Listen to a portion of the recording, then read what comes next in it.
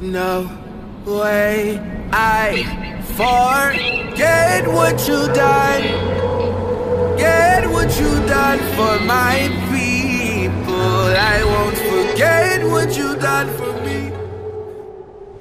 Hey, this is Barry with Awake in Israel. As I peruse social media and postings online in various formats, it reminds me of the fact that I took our children to the playground here in Israel. They put a lot of effort into playground. They've got slides and zip lines and things that go round and up and down in a really exciting environment for kids to play.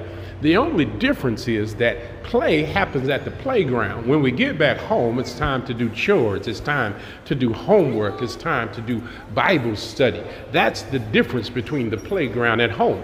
The difficulty that we're having as Israelites is that we take a playground mentality everywhere we go. We're playing when we pray, we're playing when we make posts, we're playing about marriage, we're playing about how we live out Torah. We never stop playing. We're not serious about our walk with the Most High Yah. So it's time for us to begin to stop this up and down and round and round and in and out mentality when it comes to being committed to the Most High Yah. Yah is waiting for you to be serious enough to believe Him for the power of a relationship. He's waiting for you to be serious enough to stop playing for your prayer life to go to another level. He's waiting for you to take Torah and Tanakh seriously and get the scriptures in you so you can say, like David, thy word have I hid in my heart that I might not sin against Yah.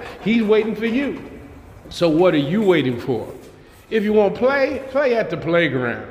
But when it comes time to living life, living Torah, you ought to tell somebody, man, girl, stop playing. I'm out.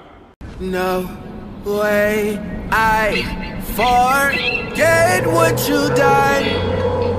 Get what you done for my people. I won't forget what you done for me.